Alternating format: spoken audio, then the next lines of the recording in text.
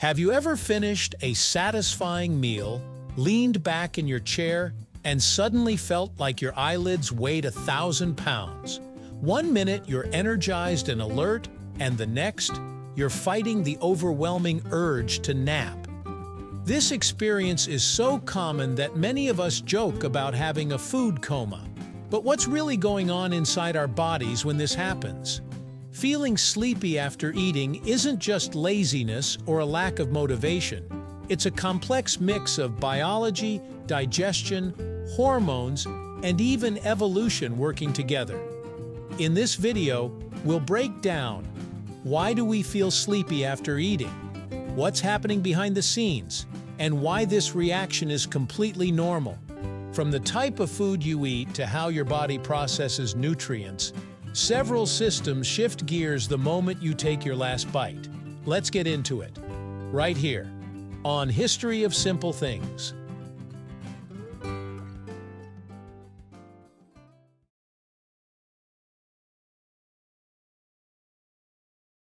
The first thing to understand is that digestion itself is hard work.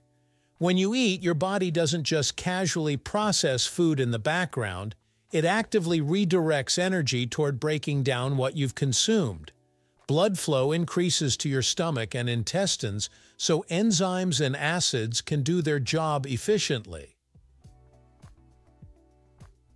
Because more blood is being sent to your digestive system, slightly less is available for other areas, including your brain. While this doesn't mean your brain is being deprived of oxygen, the shift can make you feel less alert. Your body is prioritizing digestion, and that change in focus alone can create a subtle sense of fatigue. This is especially noticeable after large meals. The more food you eat, the harder your digestive system has to work, which can amplify that sleepy sensation. Your nervous system plays a huge role in post-meal drowsiness.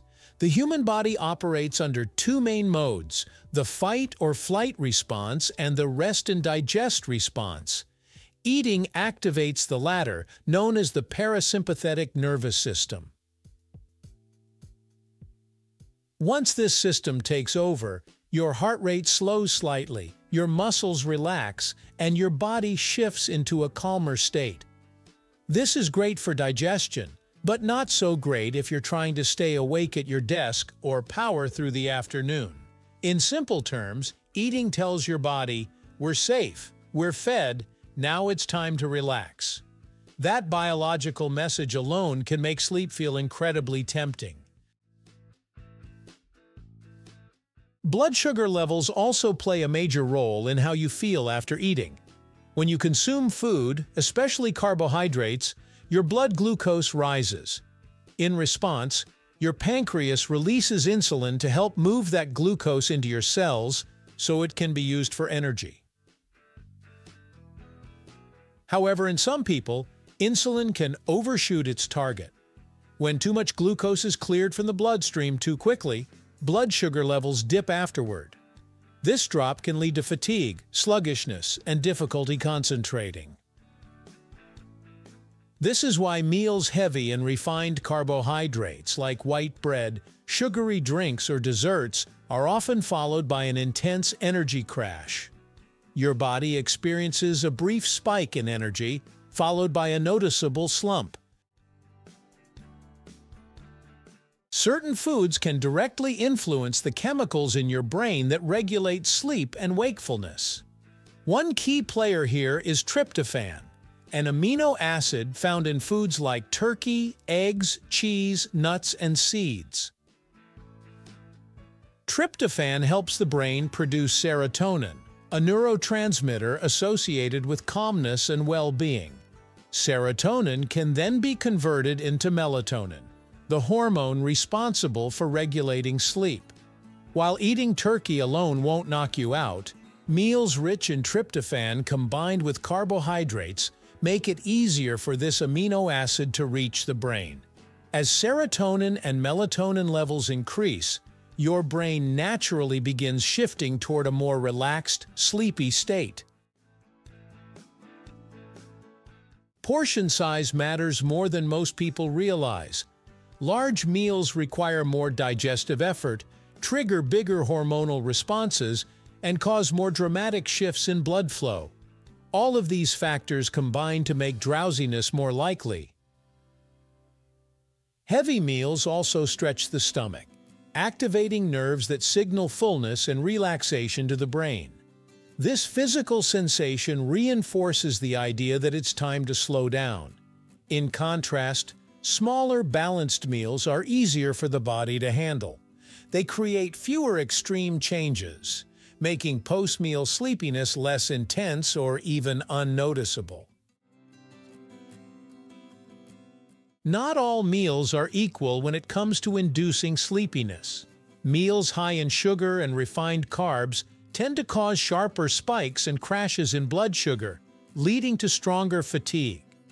Fatty foods, on the other hand, slow digestion, which can prolong feelings of heaviness and lethargy. Protein-rich meals usually have a more stabilizing effect, especially when combined with fiber. Foods like vegetables, whole grains, and lean proteins digest more slowly and evenly, helping maintain steady energy levels. This is why a fast food lunch often leaves you struggling to stay awake, while a balanced meal may leave you feeling satisfied but still alert. While you can't eliminate post-meal drowsiness entirely, you can reduce its intensity.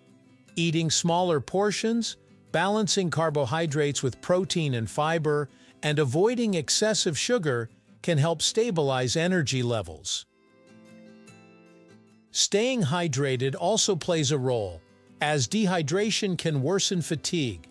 Gentle movement after meals, like a short walk, encourages circulation and helps counteract sluggishness without disrupting digestion. Most importantly, getting adequate sleep at night makes your body far more resilient to daytime energy dips.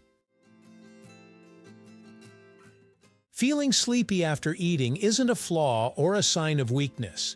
It's your body doing exactly what it evolved to do digest food efficiently, restore balance, and conserve energy. So the next time you feel drowsy after a meal, remember, it's not just you. It's a finely tuned system responding to one of the most fundamental human activities, eating. Thank you for watching. If you have suggestions for our next video, feel free to share them in the comments below. We'll be sure to give you an acknowledgement for your contribution. If you enjoyed this video, please check out our other bingeable channels. Thank you for joining us on this journey through the history of simple things. Don't forget to like, subscribe, and stay tuned for more stories woven through the smallest details.